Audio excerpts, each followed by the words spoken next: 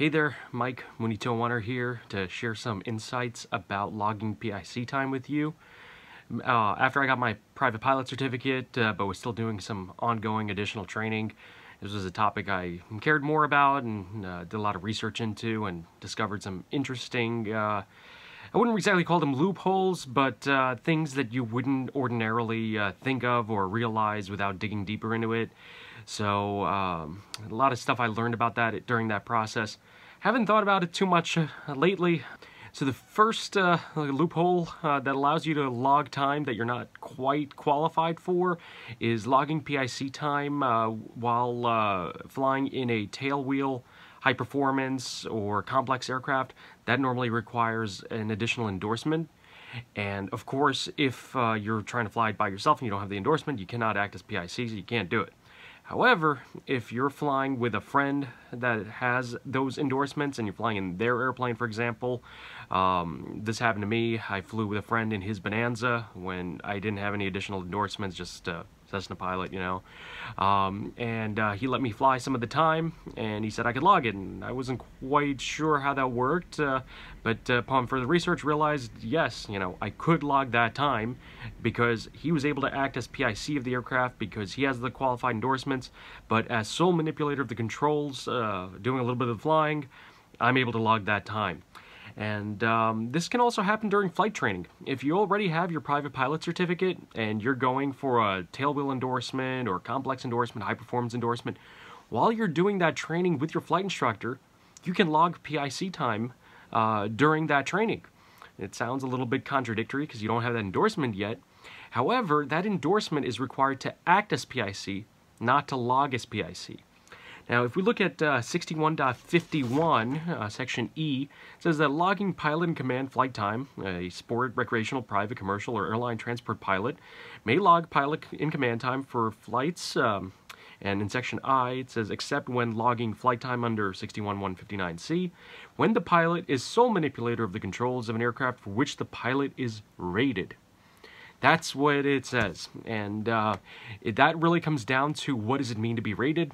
And an FAA interpretation said that rated only applies to category, class, and type. Uh, because those are the ratings that the FAA gives, and things like the tailwheel endorsement, uh, the complex endorsement, high performance endorsements, those are all endorsements. Those aren't really ratings. Those are um, a sign off from an instructor. So you need those in order to act as pilot in command of an aircraft that requires it. However, you don't need it for logging time. So in that way, you can go and get some flight training for tailwheel. And in those hours that you're training for that uh, tailwheel endorsement, uh, your flight instructor is going to be acting as PIC because flight instructor has the endorsement, you do not. However, you can be logging PIC time for all the time you're flying the aircraft as the sole manipulator of the controls. Don't let them uh, strip you of that additional time that you could be logging. And um, my personal story with that was uh, I wanted to start my instrument training and I wanted to do it in a Piper Arrow complex airplane. I had not yet had the complex endorsement and the flight instructor said that uh, I would not be able to log the uh, PIC time, even though I was private pilot at that time, without the complex. Uh, said I wouldn't be able to do it, and uh, I did some research. I found the FARs and the um, uh, legal interpretation from the FAA Council.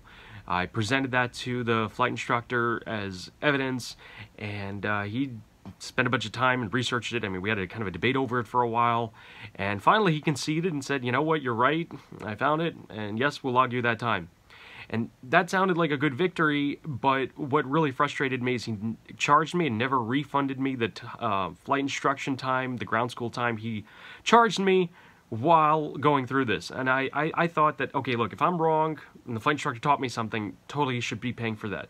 But if the flight instructor is wrong and I was right, I mean, if, if not getting paid for it myself, at the very least, you know, you shouldn't be charging me uh, to be giving you a lesson, Mr. Flight Instructor. So that was the first time that I cut it off with a flight instructor where I got frustrated. Not only that the flight instructor was wrong, I mean, it, it took some convincing. I was able to convince him otherwise, but uh, very frustrating that um, he charged me for um, not knowing the answer. So I didn't really uh, get along well, and that was the first uh, time I cut flight instructor loose over that.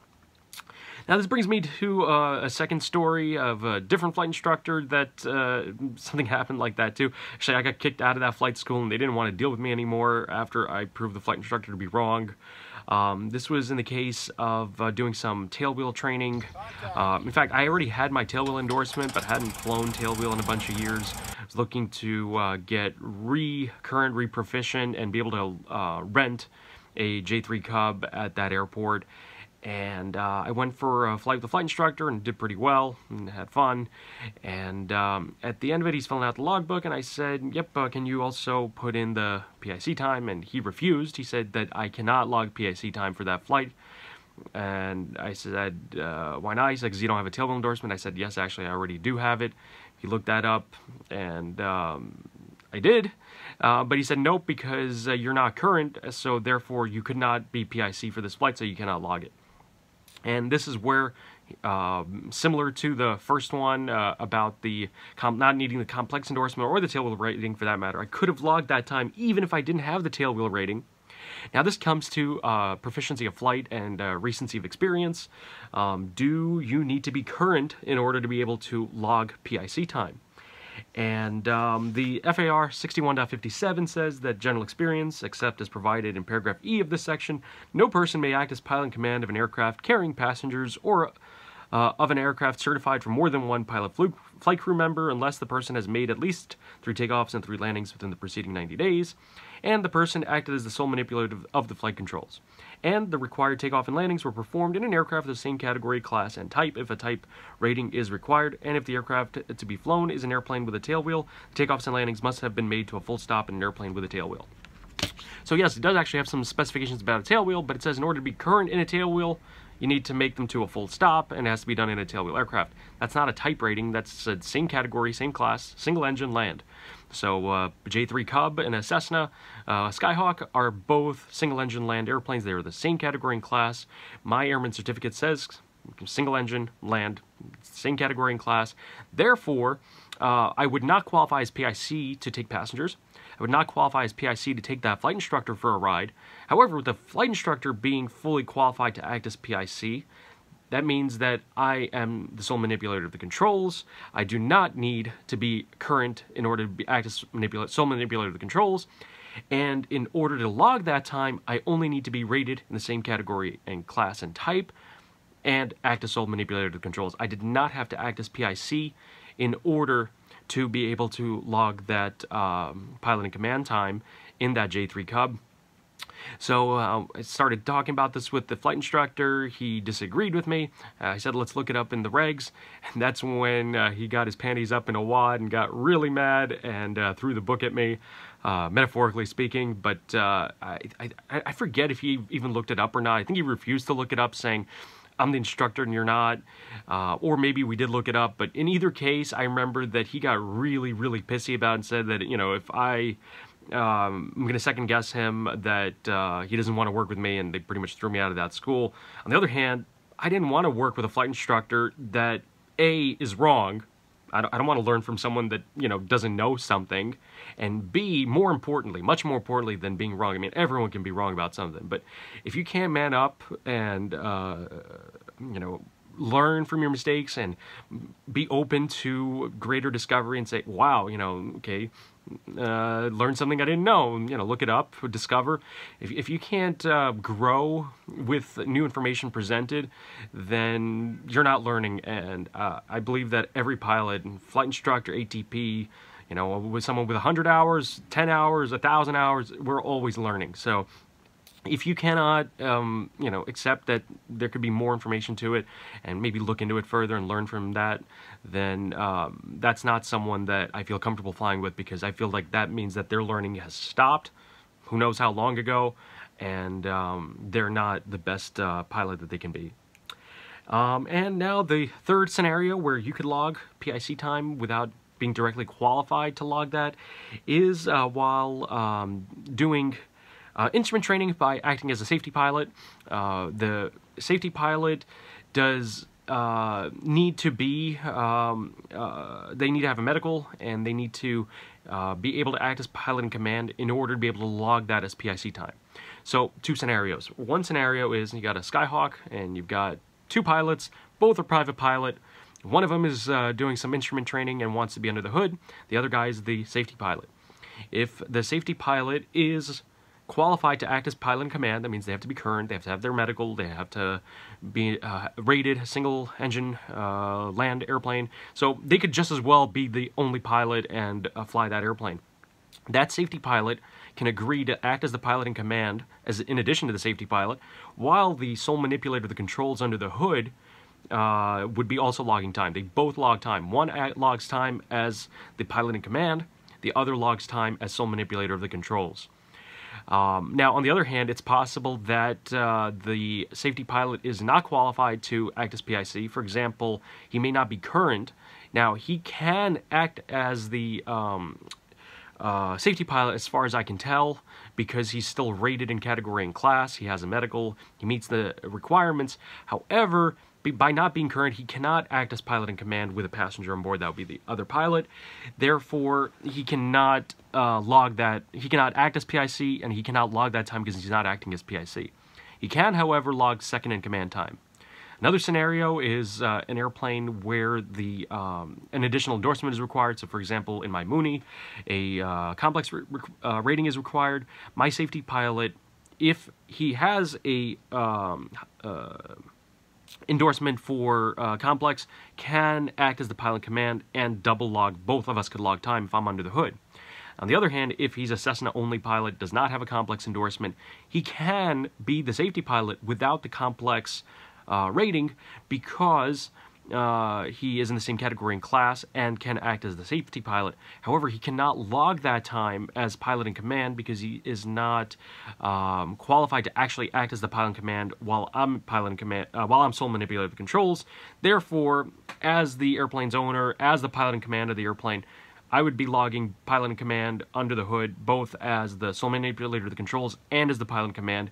Therefore, the safety pilot can only log uh, SIC time, second in command, by being a required crew member to look out the window uh, while the pilot in command, the sole manipulator controls, is under the hood.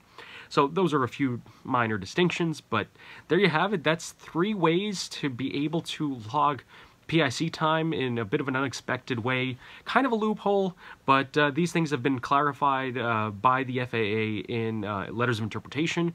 So these are legitimate ways to log PIC time. However, they're quite quirky, so they seem like a loophole. The language is, it's not that the language isn't clear, the language is actually quite clear. It's not a loophole. These things are allowed. It's just that they're not explicitly allowed and they're not disallowed. So the fact that they're not disallowed and the rules create a possibility for this, and the FAA has not changed the rules and they've issued letters of interpretation that say that this is acceptable, that means that these are really legitimate ways that are um, anticipated or are permitted to log PIC time additionally. So the first one is to be able to log PIC time in a tailwheel complex or high performance airplane without having that endorsement while either receiving flight training from a qualified flight instructor or while uh, flying with a friend that is uh, properly endorsed. The as long as the other pilot is occupying a crew station and is acting as pilot in command, uh, you, as sole manipulator controls, during the time that you're handling and flying the airplane, can log PIC time in an airplane that you don't have the additional endorsement for, as long as you are uh, private pilot or sport pilot, recreational pilot, suitably rated, and that you are um, um, uh, rated in the same category and class, single engine land. Second one uh, is that um, log PIC time when you are not current uh, by flying with someone who is qualified to act as PIC, as long as you're the sole manipulator of the controls and the other pilot is acting as pilot in command, um, for example, a flight instructor or again a friend, as long as they are current and they are acting as the pilot in command, you can log uh, pilot in command time, PIC time, while acting as sole manipulator of the controls, even though you would not be qualified to uh, engage and uh, control that flight as PIC. And the third one is you can log PIC time as uh, safety pilot by acting as pilot in command. That now you have to be fully qualified to be the pilot in command of that flight. But uh, while the other pilot under the hood is uh, sole manipulator of the controls, the safety pilot is acting as PIC and can also be logging PIC time. There you have it. Uh, those are some interesting facts from the regs. You can refer to FAR Part 61, uh, 6151, 6157, as well as um, some FAA rulings. I'll leave links in the description so that you can read up on these for yourself. Don't take my word for it. Don't take your instructor's word for it. Look up the regs. Talk to the FAA if you need to.